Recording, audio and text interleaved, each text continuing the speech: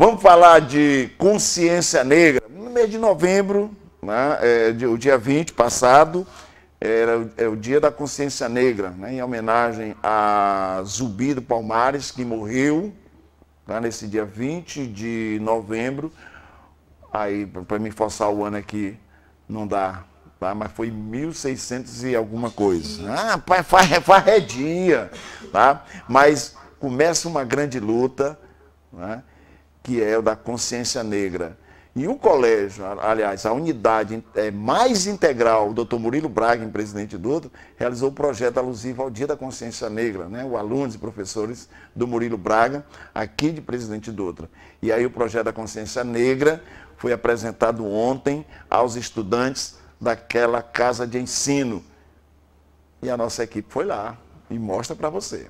A unidade mais integral Dr. Murilo Braga realizou uma programação especial em comemoração ao Dia da Consciência Negra, celebrado no dia 20 de novembro. Durante o evento foram expostas amostras de atividades realizadas pelos próprios alunos, como painéis elaborados com informações sobre a história e a contribuição dos negros para a sociedade brasileira. Além disso, foram exibidas pinturas em telas retratando a cultura afro-brasileira, assim como apresentações de capoeira, danças e amostras realizadas pelos próprios alunos. As atividades foram realizadas no pátio da escola.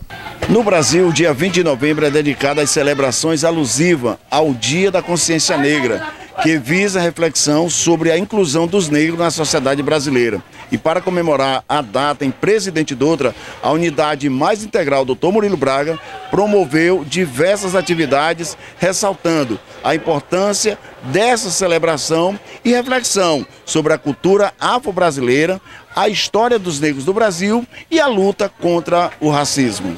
A data foi oficializada por uma lei de 2011 e é inclusive feriada em alguns estados e cidades. Ela foi escolhida para homenagear Zumbi, o líder do Quilombo dos Palmares, que morreu nesse dia em 1695.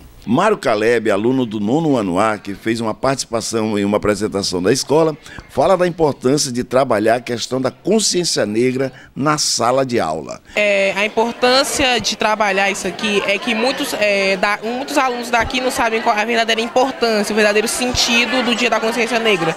Muitos acham, ah, é só para enfatizar no dia que começou a ter isso, começou a fazer aquilo. Muitos não sabem a base do início mas a base é uma maneira, um dia para nós pensar sobre o que aconteceu é, com os negros na parte do, do passado. É muito importante para também na parte do racismo, onde aqui, é, até muitas vezes aqui tem uma parte do bullying do racismo, muitas pessoas já foram aqui para a diretoria, é, a maneira de ajudar é a maneira de melhorar a situação daqui da sala de aula e da escola. O objetivo é conscientizar os alunos sobre a importância da valorização da cultura africana e combate ao preconceito racial, como explica a idealizadora do projeto de consciência negra da unidade, a professora Solange Machado. Esse projeto, né, a gente realiza ele desde o ano passado, quando eu entrei aqui, né? Aqui na escola nós temos uma grande quantidade de alunos negros. Então a gente trabalha o mês de outubro com as temáticas, né? Todas essas temáticas que eles estão apresentando aqui é trabalhado em sala e o objetivo é que eles mantenham essa consciência, né? Essa consciência de que a gente vive no século XXI, todas essas questões de desigualdade social, racial, por parte do racismo e do preconceito já eram para ter acabado, né?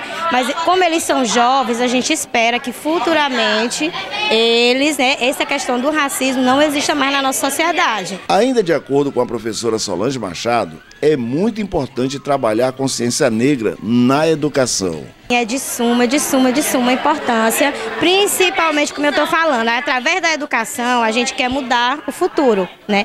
E formando a consciência desses meninos agora, futuramente certas práticas racistas, certas palavras racistas irão deixar de existir. Então, é da importância então de construir e ofertar uma educação antirracista na escola. Esse eu acredito que seja um passo para se manter a igualdade social que a gente tanto busca, né? Nós já estamos aí com mais de 134 anos de desigualdade social por parte dos negros e o objetivo desse nosso projeto é realmente fazer com que práticas racistas como essas deixem de acontecer na nossa sociedade. E o primeiro passo é aqui dentro da escola. Jennifer Rayana, aluna do oitavo ano A, fala sobre a negritude nos dias atuais, principalmente com os jovens negros. Uma frase muito importante que eu não poderia deixar de citar foi uma frase que eu ouvi, que ela dizia o seguinte: é, como é que eu vou andar desarmado se a arma que eles mais temem é a minha negritude? Isso faz a gente refletir, né? Porque de acordo com dados que eu vi, né, o meu professor me falou que em 2022 a taxa de mortalidade de negros por policiais foi bem maior do que a de brancos. Para algumas pessoas isso não significa nada, foi somente pessoas negras mortas. Mas para algumas pessoas isso faz a gente refletir, né? Porque, tipo, é uma coisa muito estranha, né, digamos assim. Outra frase muito linda é aquela que diz: se você não vê minha negritude, você não me vê. O evento aconteceu com a participação de alunos e professores da Unidade Integrada Dr. Murilo Braga, que prepararam as apresentações para celebrar o Dia da Consciência Negra. A aluna Nicole Araújo, do nono ano A, fez uma apresentação junto com outras colegas de sala falando sobre o escravo contemporâneo no Brasil. Segundo ela, mesmo nos dias atuais, a escravidão continua. A escravidão moderna é um novo jeito, uma nova maneira de escravizar as pessoas. Antigamente as pessoas eram escravizadas por, pelos, pelos capitães do engenho, para plantar açúcar, para plantar cana-de-açúcar, arroz, essas coisas. Hoje em dia, a escravidão é para saldar dívidas. Que dívidas são essas? As dívidas são é, de alojamento, passagem, alimentação, que muitas vezes são precárias mas que são cobrados um valor exorbitante para que a vítima nunca consiga quitar essa dívida e seja mantida como escrava.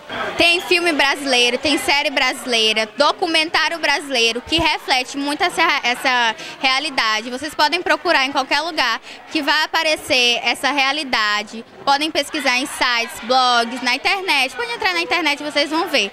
A escravidão moderna de hoje em dia é super diferente, mas ao mesmo tempo é igual à escravidão de antigamente. Maravilha! Parabéns aos alunos do, do da unidade mais integral, doutor Murilo Braga, aqui em Presidente Dutra, aos professores, especialmente aí a Solange Machado, né? em especial Solange, por trabalhar essa temática tá? e levar isso para a sala de aula, levar essas discussões para a sala de aula, né?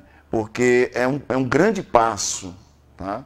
como ela disse na, na, na reportagem, é de suma importância se discutir essa questão do preconceito, desse preconceito besta, barato, vulgar, que ainda existe no meu país em pleno século XXI, nesses 523 anos.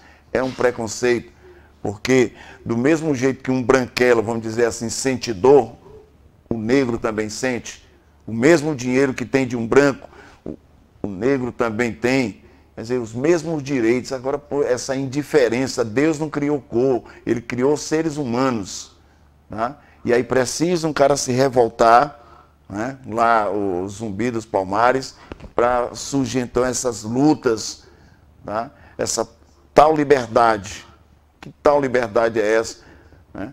Deram-se um, uma tal carta de alforria, mas qual foi a condição de trabalho, de, mora, de moradia, de escola para esses negros?